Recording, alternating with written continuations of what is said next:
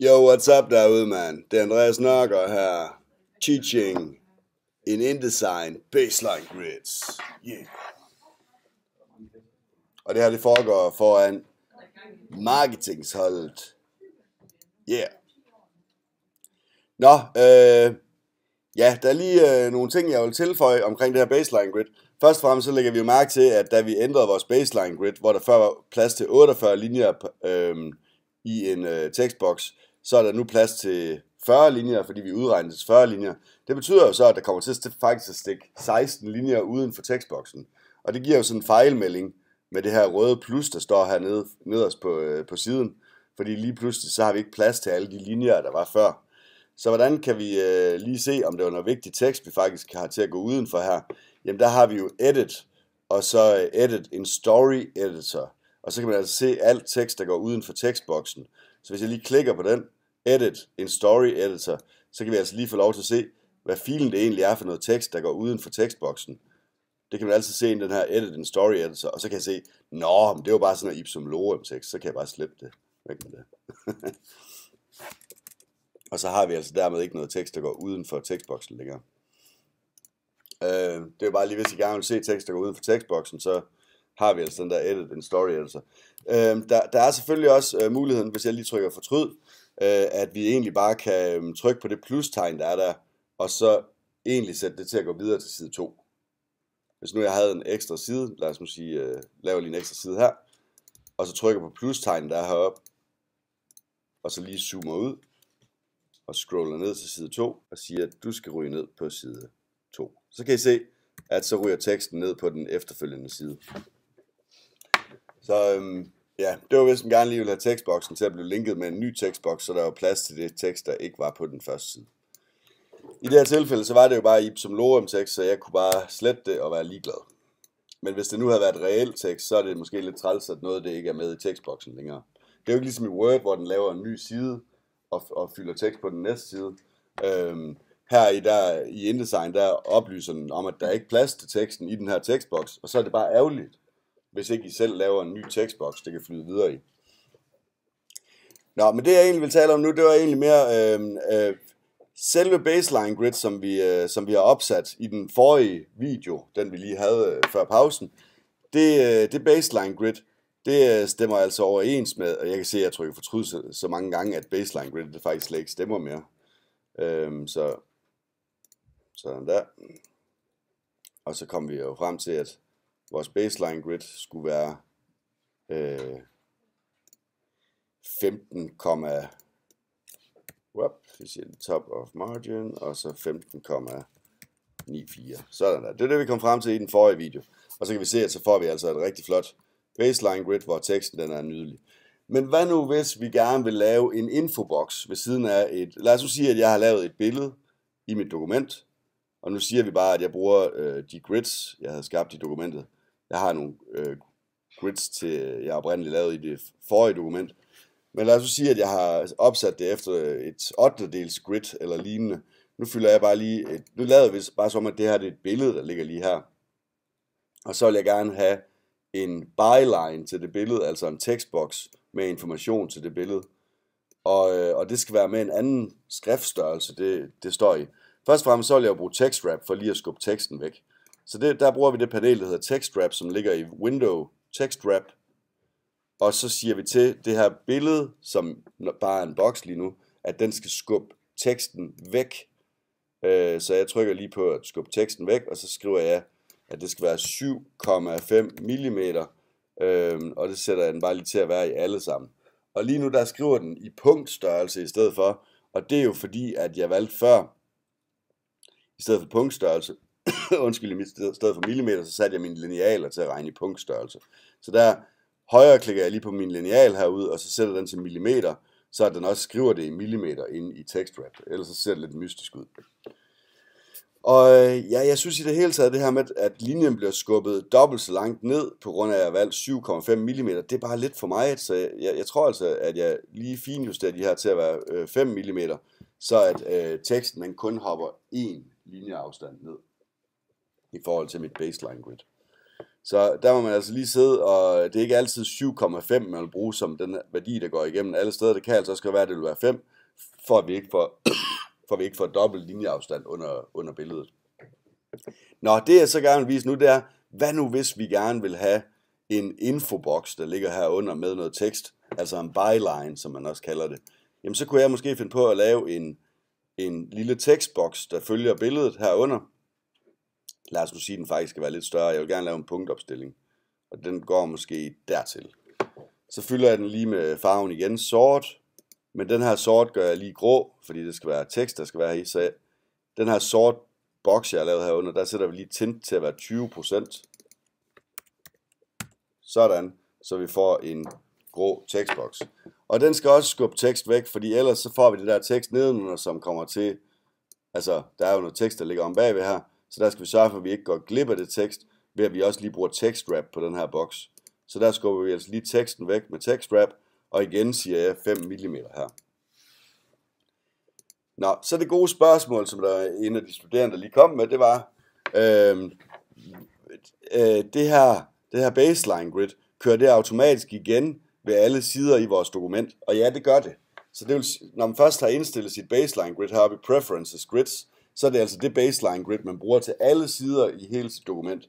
Men hvad nu, hvis man gerne vil have et separat baseline grid, der bare passer på en side, eller til et objekt, eller noget lignende? Hvordan kan vi så sørge for det? Ja, se, så derfor har jeg så lavet den her boks, øh, og lige nu, der er den boks, det er egentlig bare en, øh, en almindelig rektangel. Øh, herinde, der vil jeg gerne lave en tekstboks, som har nogle specifikke regler, som er anderledes end den tekstboks, der er udenfor. Så jeg trækker lige en, en, en tekstboks her, og så lige putter den ind oven på den anden. Man kan sådan set også godt lave, ja, man kan også lave det grå til at være en tekstboks i sig selv, men øh, nu laver jeg bare en ekstra tekstboks til det her. Og hvis jeg nu havde et grid, så ville jeg kunne trække den ind til et bestemt punkt her, og så, så snapper den fast.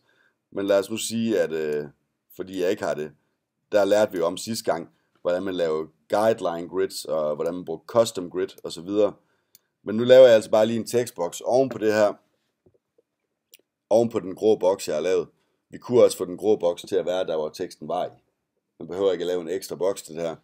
Men ja, det kan jeg godt lide. Så det jeg nu vil gerne vil gøre, det er først og fremmest, så vil jeg sørge for, at der er en tekstindrykning på 5 mm eller 7,5 mm ind i det her grå felt. Så der vælger jeg lige øh, text frame options. For øvrigt, hvis der er nogen, der har problemer med at lave den her tekstboks, så kunne det være, at det er fordi, de trækker tekstboksen oven på det grå felt i forvejen. Fordi det, der sker, hvis man trækker den oven på det grå felt i forvejen, det er, at man faktisk risikerer at sige til den her boks, hvis ikke man klikker og trækker, så risikerer man faktisk at sige til den boks, at det er den boks i sig selv, der skal blive til tekstfeltet. Hvis man bare kommer til at klikke på den. Men hvis man ikke gør det, men man i stedet for at gøre det ligesom mig, lavede tekstboksen uden for dokumentet, og så trak den ind, så vil der ikke opstå nogen problemer. Nå, nu vil jeg gerne have det her tekst, der skal stå i den her tekstboks, til at have en indrykning på 5 mm. Så der går jeg altså lige ind og højre klikker på den her tekstboks, og så vælger jeg det, der hedder Text Frame Options. I Text Frame Options, der sætter jeg den så til en inset spacing på 5 mm, øh, og jeg har kæden slået til, således at den sørger for, det alle kanter og led, der bliver 5 mm. Ok. Det vil sige, at om lidt, hvis jeg begynder at skrive den her tekstboks, så burde det have en indrykning på 5 mm fra alle kanter. Problemet øh, vil være, at fordi at jeg har brugt tekstwrap på boksen bagved, så vil jeg ikke kunne skrive noget tekst i den her boks, uden det bliver skubbet væk. Så se, når jeg begynder at skrive her, så siger den med det samme, der er ikke plads i tekstboksen til, at teksten kan være der. Og det er fordi, jeg lige skal fortælle den her tekstboks, igen ved at sige Command B eller højre klikke og vælge Text Frame Options, så skal jeg lige sige til den her boks, at den skal ignore text wrap. Ignore text wrap. Fordi så får den her tekstboks lov til at skrive tekst, øh, selvom det er ovenpå en boks, der bruger text wrap. Så hvis I nogensinde oplever, at I ikke kan skrive tekst ind i en tekstboks, så kan det være, at det er fordi, jeg placeret den tekstboks ovenpå et objekt, der bruger text wrap. Så skal jeg altså lige huske at gå ind i den tekstboks og sige til den, ignore text wrap.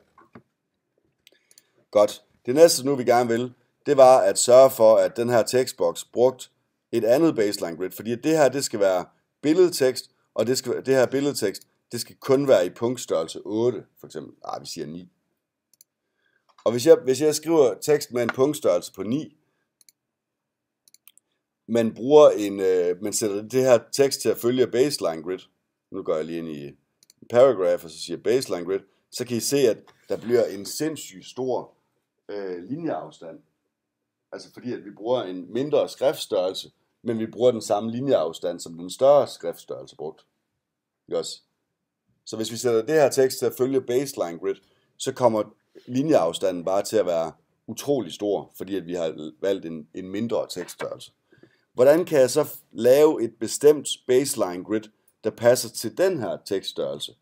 Det gør vi simpelthen ved, at vi igen højreklikker på tekstboksen, og så vælger Text Frame Options. Og herinde, der har vi noget, der hedder Baseline Options oppe i toppen. Og her kan vi så vælge, i stedet for at sige Use Custom Baseline Grid, så at vi altså opfinder et nyt baseline grid til den her tekstboks. Are you with me so far? Det, vi lader som, at ja. Godt. Øhm, så den måde, det her baseline grid fungerer på, det er, at der er en, der hedder relative to, og så den, der er bedst at vælge her, det er top inset. Det vil sige, den inset, vi har sat i general, som var toppen på 5 mm. Det er den relative to. Den, den laver baseline gridet ud fra den indrykning på 5 mm. Godt. Øhm, så, så skal I selv vælge den her increment area, øhm, og det kunne I også udregne ligesom før. I kan sagtens lave en udregning, der passer specifikt til den her tekstboks, men det anbefaler jeg en lille smule, at I måske ikke gør, fordi at de her byline tekstbokse, de kommer nok til at variere i højde. Altså det vil være afhængigt af, hvilken side vi har billedet på, hvor meget info der så skal være under det billede. Det kan godt være, at på nogle sider, der er det kun én linje tekst, på andre sider, der er det syv linjer tekst. Så det vil sige, så skal I hele tiden til at finde ud af for hver tekstboks, hvad det skal være for lige præcis den tekstboks. Så det jeg egentlig anbefaler her, det er, at for de her infobokse, øh, eller bylines til billeder, at der, laver, der kommer I bare frem til en værdi, som generelt vil være den samme ved alle infobokse. Så den, den, jeg anbefaler ikke, at I laver den der udregning, ligesom vi gjorde før, hvor vi siger 40 linjer af det, der skal være i højden her. Så, så her, der skal vi ikke udregne, det er fem linjer, der skal være i højden. Fordi at på næste side, der kan det være det syv linjer, og på næste side kan det være det 17 linjer, ikke også? Altså, det vil afhænge hele tiden af, af siden. Så jeg vil måske bare tage stilling til, hvad bruger den i forvejen, hvis den er 9 punkt størrelse? Hvis skriftstørrelsen er 9 punkt, så kan I se, at dens generelle formatering er, at så vil den have en leading, altså en, en linjeafstand på 10,8. Og det var 120% af skriftens størrelse. Som jeg sagde før, så er det ofte en god idé at have en højere værdi end det, fordi det oftest, det 10,8, det virker som, at det er enkelt linjeafstand, altså at, at linjerne kommer til at stå lidt for tæt på hinanden. Så det kan godt være, at jeg vil overveje, at det måske er, ja, det kunne være 12 punkt for eksempel, ligesom det står til i forvejen. Det kunne også være, nu bare for ikke, for, ikke for at skrive det samme, som der står i forvejen, så skriver jeg 11,5 punkt. Øh, og så kigger jeg lige på preview, ser det flot ud, og så tænker jeg, ah, det kan godt være, at vi skal prøve at gå ned i 11,2 punkt. Og så bliver der lige præcis plads til en ekstra linje. Øhm, men på den måde, så kan I altså indstille jeres eget baseline grid. Så er nogle af jer, der siger, øh, hvorfor, hvorfor skal vi lave et baseline grid? Fordi det er jo ikke baseline grids primære formål. Det er, at hvis der er to spalter, der står ved siden af hinanden, at så kan man få dem til at flugte med hinanden. Ja, men øh, det kunne jo også godt være, at I på et tidspunkt, nu så jeg bare OK til det her, øh, det kunne jo sagtens være på et tidspunkt, at så skal I have en infoboks, der strækker sig over to spalter. Øh, hvis det er tilfældet, nu går jeg lige ind og så tager den grå boks og også lige ændrer den i størrelse. Hvis det er tilfældet, så kan jeg jo se her, at, at hvis jeg sætter den her boks til at strække sig over to spalter, og lige sagde text frame options, og så siger to spalter med en godter på 7,5, sådan der, øh, og så lige udfylder det her med tekst, fill with placeholder tekst, så kan I se, så vil de to spalter i den her infoboks kom til at flugte fuldstændig med hinanden. Så dermed kan vi altså lave et custom baseline grid øh, til andre bokse, så de ikke følger den samme opsætning, som vores baseline grid har for hele dokumentet, som i det her tilfælde var 15,94 punkt. Yes, så det var lidt om, hvordan vi opsætter vores eget custom baseline grid. Yeah. Video hermed færdig.